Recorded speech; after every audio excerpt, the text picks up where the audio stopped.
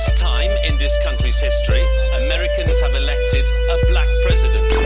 Yes, we can. There are families who are still losing not only their jobs, but maybe losing their homes. A marriage should be between a man and a woman. No offense to anybody out there, Michael Jackson, the amazing, gifted, superbly talented king of pop, is dead, apparently from a heart attack at the age of that 50. we have lost an additional 345,000 uh, jobs in the month of May. As the buzzer sounds, it's official.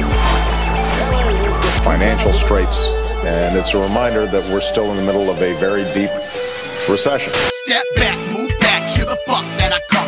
Move it, you lose it. Why the fuck you so dumb? Stand back a second and watch them how they roll. When I come up on them, run them on them, making sure they fold. I said I make mad shit, but don't take mad shit. The shit that I spit comes straight from my lips. And if you think that you got the game on lock, it's the niggas that be kicking but slipping that get dropped. So what's your next move? It's a fucked up world.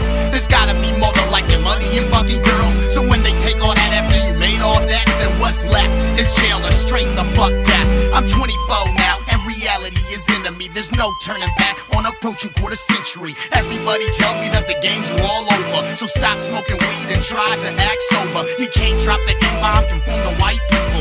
Get a real job and try not to fight people. I say fuck that. By the way, where my nuts at? Where my sluts at? I wanna tell them they can suck that. I do what I want, can't nobody tell me. Call me selfish, cocky, and I just might agree. I love haters, but haters love to hate me. But